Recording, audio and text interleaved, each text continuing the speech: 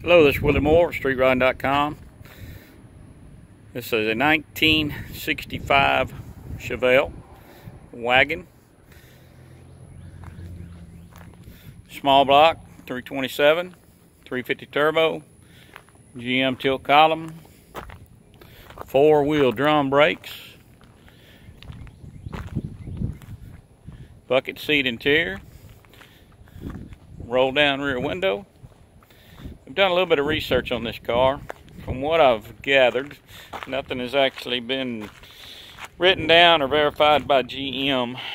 But the word on the internet is that GM made 300 of these Nomad type wagons with the solid quarters.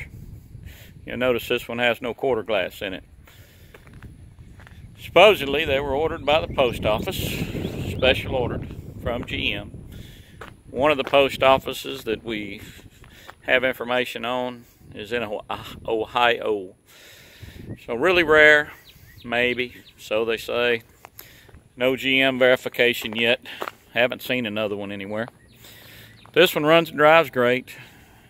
Wagon gives you plenty of room to carry all the stuff you want to carry. Paint is decent. It's older restoration. Uh, solid floors. Body's nice and solid on it couple of small bubbles on the bottom of one of the fenders. Paint on a 1 to 10, I'd say it's about a 6. It's nice and shiny. There are a couple of places where it's showing a little bit of wear and tear. But overall, really nice red paint. Good running and driving. Get in it, hit the key, take off. And this one does have air conditioning. So check it out on streetrodding.com. We're going to have it for sale on there.